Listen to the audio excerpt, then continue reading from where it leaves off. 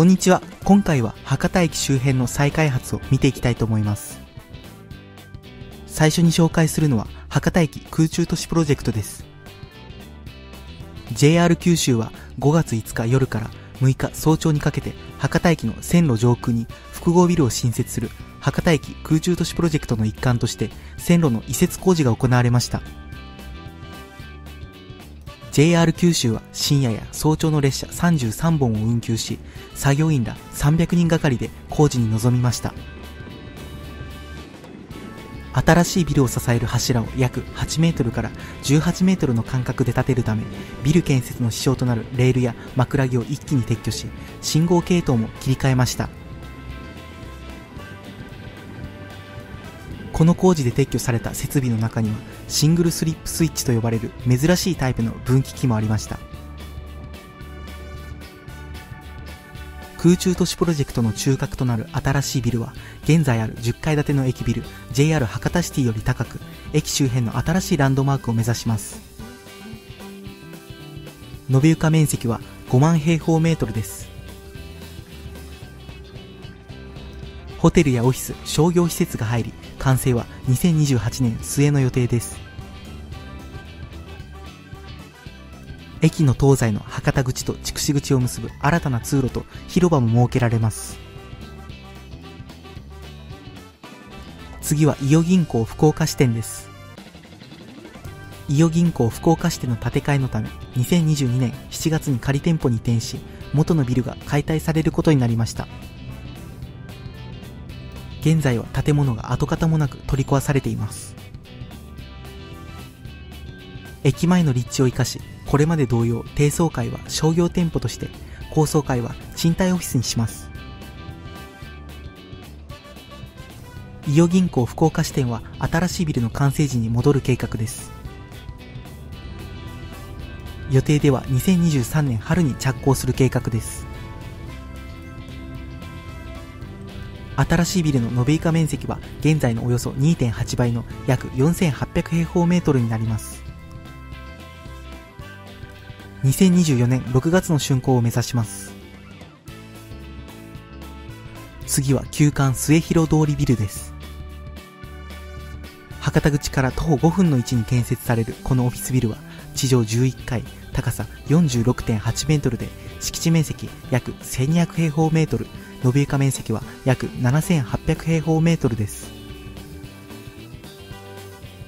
道路に沿うように緩やかな曲面を描いた構造のビルです。部屋の内部に柱がない設計で、レイアウトの自由度が高く、フロア全体を見渡せる開放的な執務環境を構築し、入居者の業務効率向上に貢献します。1階にはキッチンカーの営業も可能なオープンスペースや緑豊かなゆとりのある歩道とエントランスは都心のビジネス空間に憩いと賑わいを創出します。次は博多駅前4丁目オフィスビル計画です。博多駅前4丁目ホテルサンライン福岡博多駅跡地には新たにオフィスビルが建設されました。地上7階、敷地面積1200平方メートル、延べ床面積は6400平方メートルです。博多駅前4丁目オフィスビル計画として進められていたこの再開発ビルは博多駅前パークサイドビルという名前になりました。2023年3月に竣工でした。次は YJ カード本社ビルです。ヤフーの子会社である YJ カード株式会社が PayPay カード株式会社に称号が変更になったことに伴い、本店所在地も東京に移動しました。現在は囲いに覆われており、解体工事が進み、低層部のみが残っています。次は西日本シティ銀行本店です。博多駅前に位置し、建て替えを進める西日本シティ銀行の本店本館ビルの概要が明らかになりました。新たな本店本館ビルは地上14階、地下4階建て、延べ床面積は75,600平方メートルで、旧本店本館ビルの約2.9倍の広さになります。西日本シティ銀行の本店営業部や本部機能が入るほか、オフィスや店舗を貸し出します。地下にはコンサートが開催できる音響性能を持った約400人規模のホールが設置されます。セミナーや会社説明会などに利用できる施設として運用します。また大規模災害発生時は帰宅困難者の一時滞在施設としての利用も想定しています。デザインはデンマークを拠点とする建築事務所が担当しました。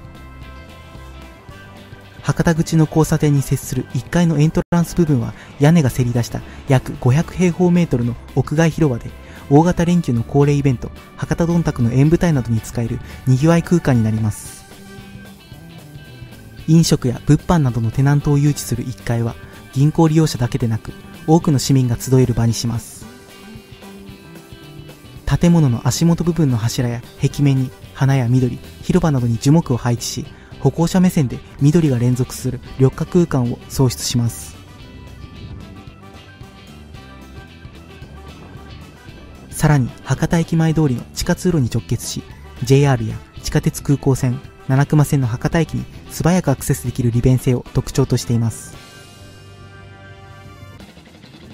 新しい本館ビルは、福岡市の再開発促進事業、博多コネクティッドによる容積率の緩和対象になっています。2023年11月をめどに着工し、2026年1月に竣工する予定です。旧本店は斬新なデザインと茶褐色の外壁が特徴的でした。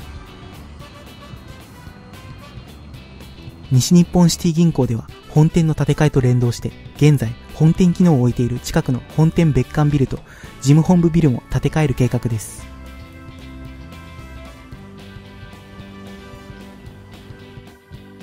次は福岡東総合庁舎の跡地です。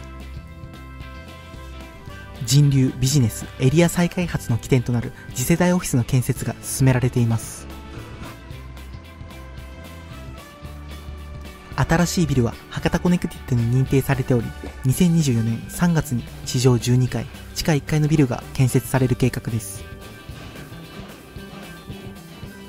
延べ床面積は約2万1000平方メートルで1階にカフェなどの店舗、2階から3階に県税事務所が入り、4階以上が貸しオフィスになります。当初は11階建ての予定でしたが、博多コネクティッドで容積率の緩和が適用されたため、12階に変更されました。